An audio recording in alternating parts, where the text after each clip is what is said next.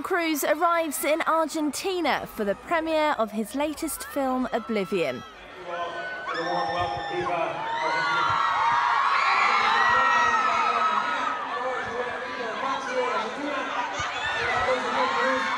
The actor who hit the red carpet in Buenos Aires plays Commander Jack Harper, a drone mechanic and one of the last men left after Earth has been destroyed by an alien invasion. Yeah, he has a deep connection with Earth and loves Earth.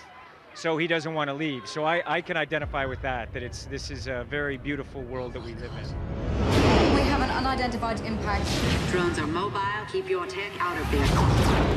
We are human. I'm ordering you to return to tower immediately. They're firing on survivors. Stand down! This is insubordinate behavior. Like Minority Report, it's science fiction, but it's also about people and it has a very human story. And Oblivion has twists and turns in the story all the way up to the last frame of the movie. So I'm very excited for audiences to see it.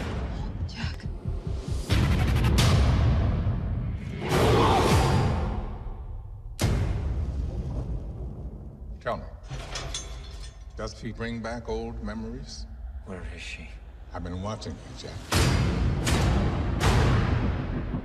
They lied to you. It's time to learn the truth.